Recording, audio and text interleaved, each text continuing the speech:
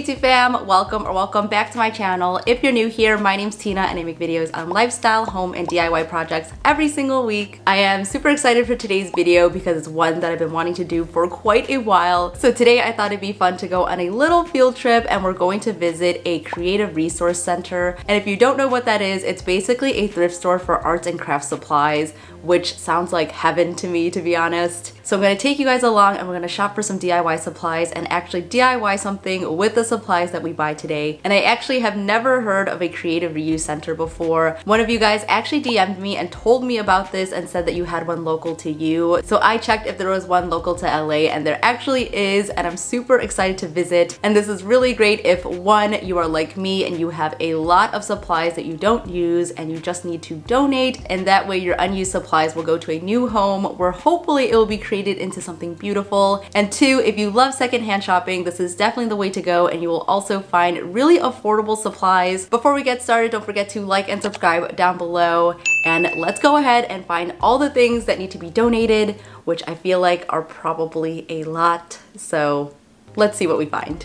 So here's everything that I have gathered up so far and you'll see that we have some wood pieces over here, some Christmas decorations that I just never got to use. And a lot of this stuff is just things that I don't think I'll be using anytime soon and it's kind of been taking up space in my craft storage so I think it'll be better in someone else's home. Even some of this stuff which is things that I've gotten in PR from Cricut which is really pretty but I don't think I will use it so I think someone's gonna be really happy to find this. We also have this colorful twine which I don't think I'll use. You guys know me, I like to stick to my neutrals.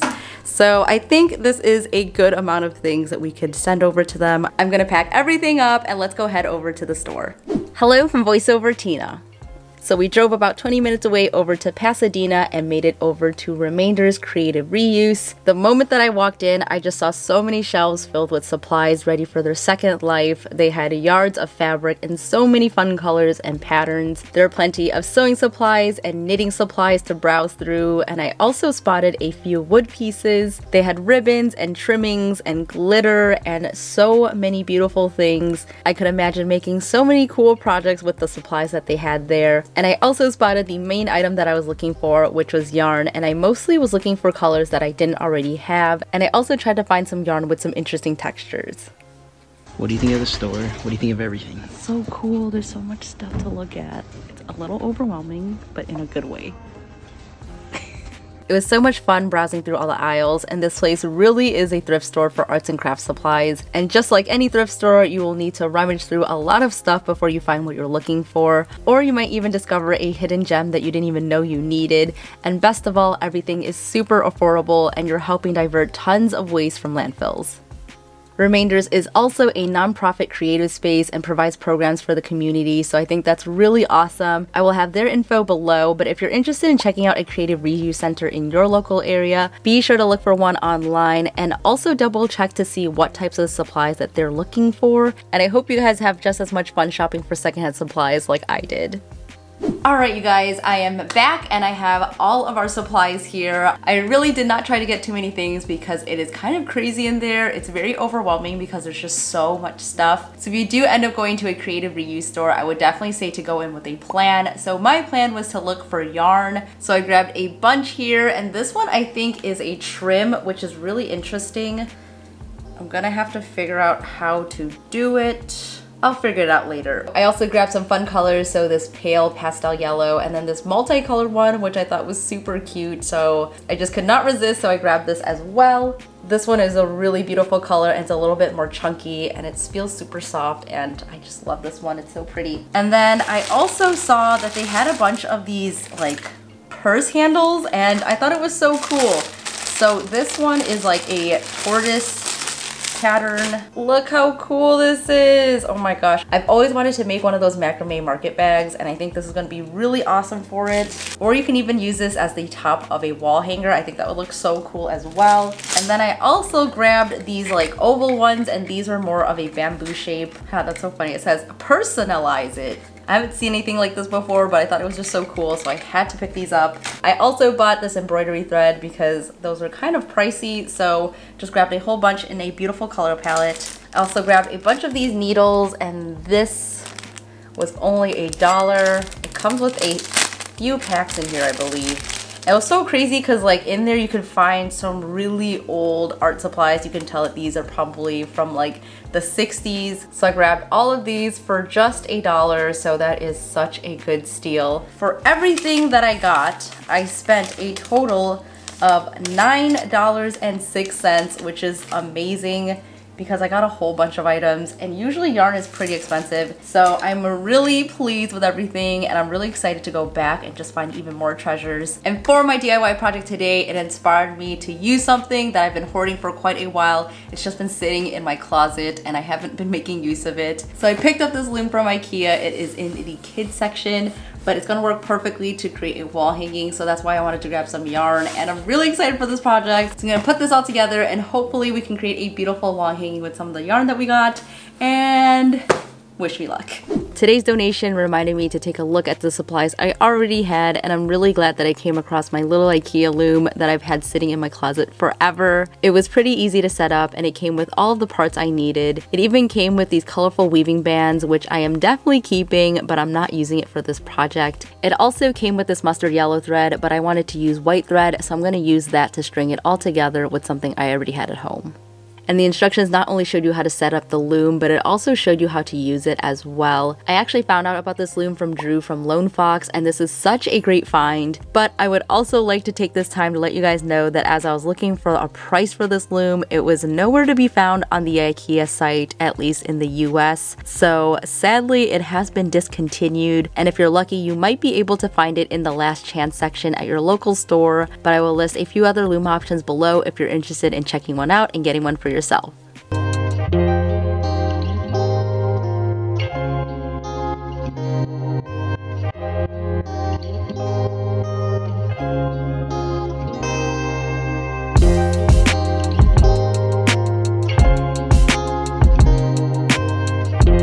To start the project, I'm adding on a piece of paper at the bottom and I'm weaving it over and under the warp yarn as a placeholder. Once we complete our hanging, we're actually going to remove this and this is just going to ensure that we have enough yarn to tie it off at the bottom. As a shed stick, I'm using a piece of wood that perfectly fit onto our loom and I'm weaving that over and under the yarn as well. And this is great to have to separate the warp threads so that you can weave right through the opening in one direction rather than one by one every single time.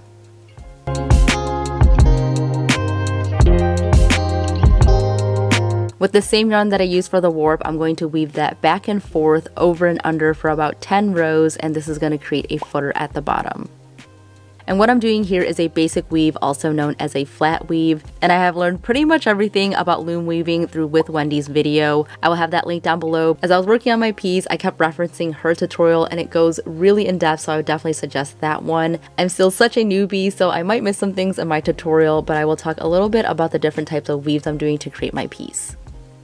To start our actual wall hanging, we're to start by creating a fringe at the bottom and we're doing a rya knot. So I'm placing both ends of the yarn through two of the warp threads and then I'm pulling through to create a long fringe piece.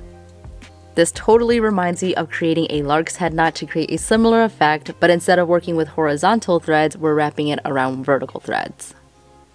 This fringe is going to add some nice texture and volume and also help hide the footer at the bottom.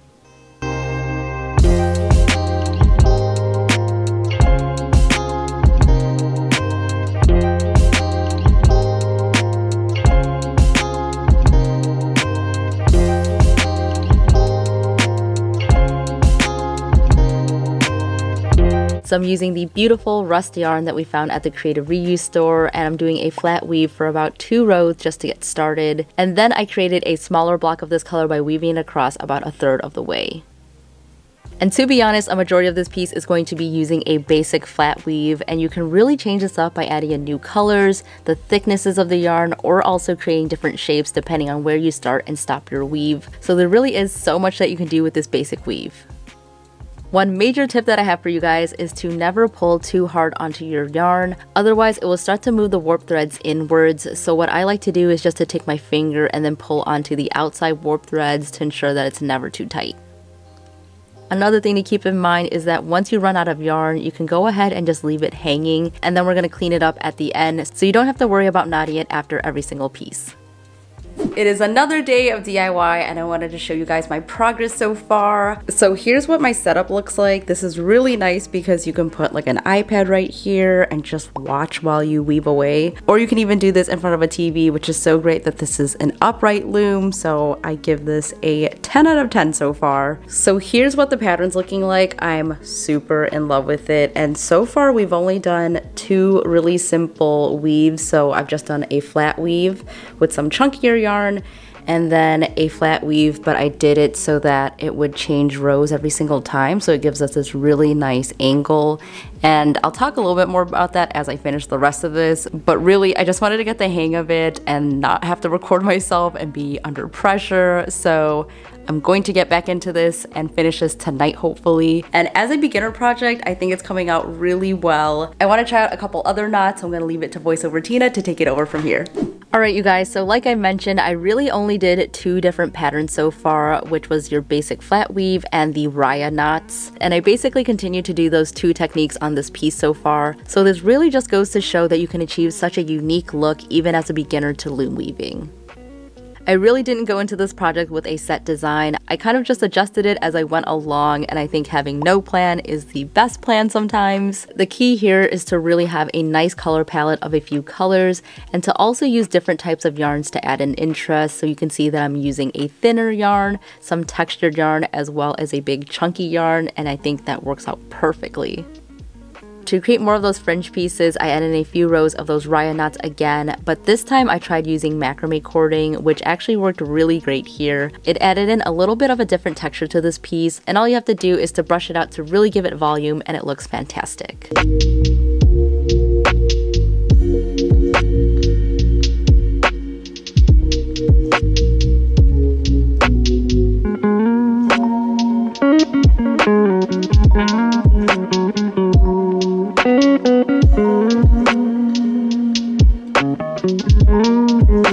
Wanted to create some big loops with my chunky yarn, so I found a tutorial by Spruce and Linen here on YouTube. So we're gonna create some Rya loops, and basically you just wanna loop it behind one of the warp yarns, and then take the remainder of the yarn to create another loop that goes through the other one, and then you're gonna pull to tighten it.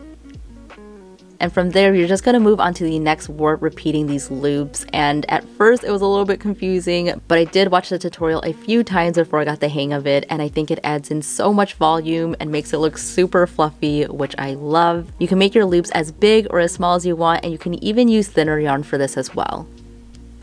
So in total, I only used three different patterns to create my wall hanging and I'm quite surprised by how quickly I got the hang of it. Like I mentioned, I basically played the YouTube tutorials over and over as I was working on it, so that's totally the way to go when you're first getting started. It really does get easier the more you weave and understand how to create the patterns.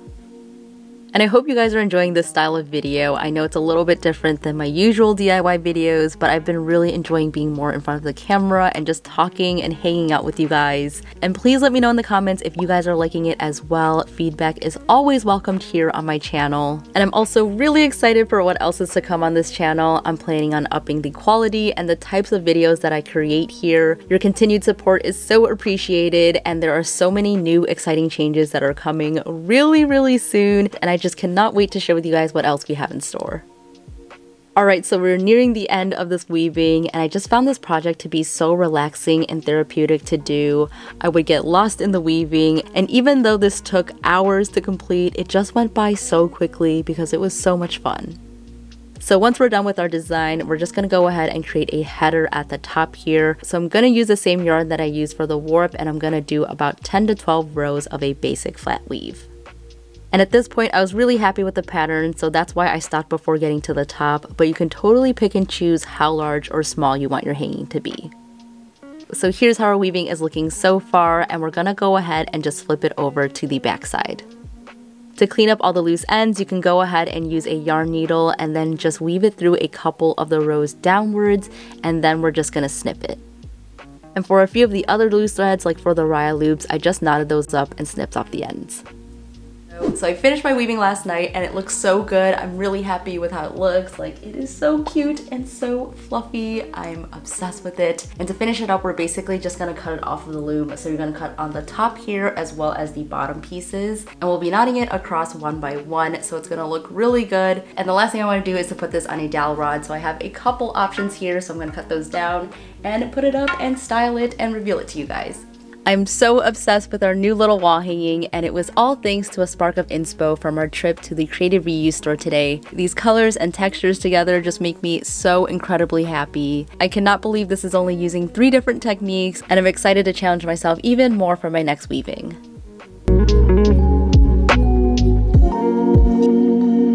Cannot believe it took me so long to try weaving and I'm so happy that I did. I hope this video inspires you guys to look at some of your old supplies, go donate it, and then feel inspired to create something new with something old. This whole video was just so much fun for me to create and if you guys liked it, don't forget to give it a thumbs up down below. And I would also like to know what you guys think I should look for next time at the Creative Reuse store. I'm really excited to go back there and if you guys are in the area, I'll leave all their info down below. If you're inspired by today's project, don't forget to tag me on Instagram and I will leave it some love. And of course, so much love to you guys who already tagged me on Instagram. I will share it across the screen here. Thank you so much for watching and hanging out with me this week. Stay inspired and I'll see you in the next one. Bye!